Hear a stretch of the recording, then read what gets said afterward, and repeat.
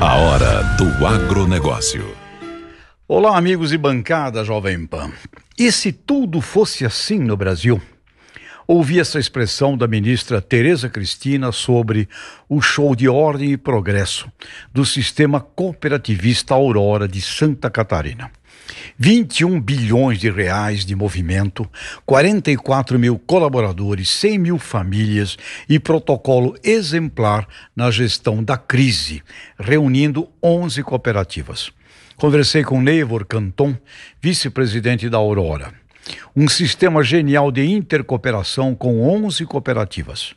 Compete com gigantes multinacionais e pode receber aqui da nossa parte uma medalha de honra ao mérito pela capacidade com a qual tem exercido a gestão da pandemia Covid-19 fez acordo com, autoridades, cumpriu rigorosos protocolos, criou mais de 3 mil novos empregos neste período crítico. Fantástico tem superado gigantescas exigências sanitárias dos clientes mais exigentes do mundo e conseguiu não ter nenhuma unidade suspensa.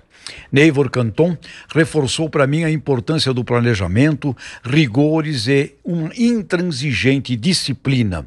Da mesma forma, salientou a humildade e o humanismo nessas horas, quando as tensões propiciam maus conflitos, transformando com diálogo e ações de liderança anticonflito um resultado convergente, positivo, ético e correto. Transformar os diferentes em parceiros, como por exemplo nas relações com o Ministério Público e do Trabalho.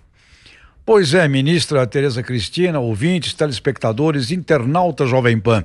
E se tudo fosse assim no Brasil? O Brasil é maior do que a desordem. Organizações como o Sistema Aurora e essas 11 cooperativas são exemplo de ordem e progresso. José Luiz Tejon, para Jovem Pan.